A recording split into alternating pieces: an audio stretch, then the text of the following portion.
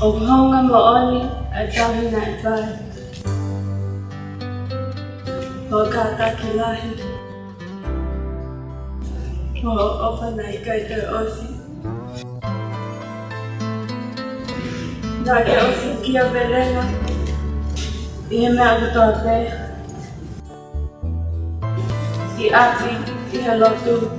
Hunga i potu ngā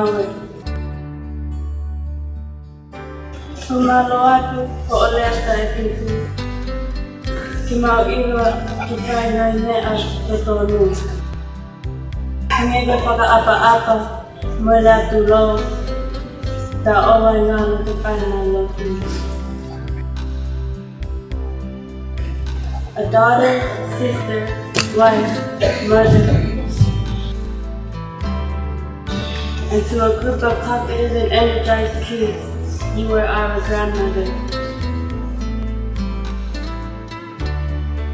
Though we tired you out in the days of struggle, you still fought through the pain to show us survival. A strong woman, if indeed you were,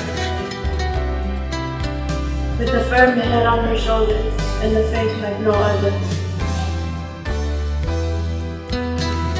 At four in the morning, be up and praying. For everyone in the world, and for those of us in pain.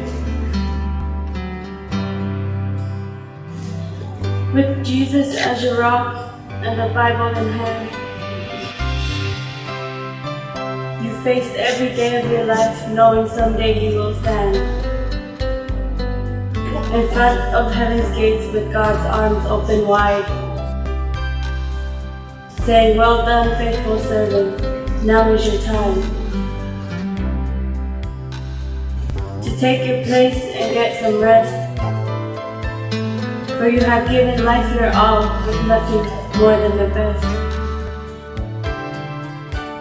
We will miss you, Grandma Lisi, and that is not a lie. Cause who will marry Kate ask I not got